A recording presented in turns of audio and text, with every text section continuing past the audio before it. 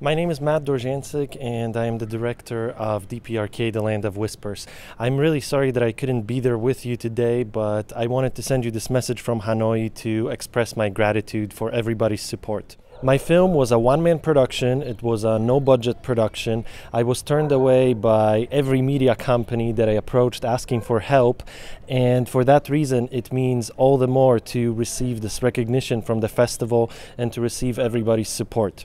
And as happy as I am today, uh, the film was never intended to be about me. The North Korean people, as well as numerous other people in the world, face different hardships every day, be it due to poverty, politics, health, or a whole multitude of social issues. A lot of those people are misunderstood, a lot of them are ignored, a lot of them are forgotten. I think that few changes in the world really happen through politics. I think what truly makes a difference is people coming together, willing to talk, willing to listen, willing to share, and in the process, both sides are able to gain a new insight into their own lives as well as into the world around them. And for that reason, I really want to take this opportunity to encourage everybody to travel, to travel independently, to travel open mindedly, to travel without prejudice, and even without money. And in that way, to form your own opinion and and to see the world through your own eyes.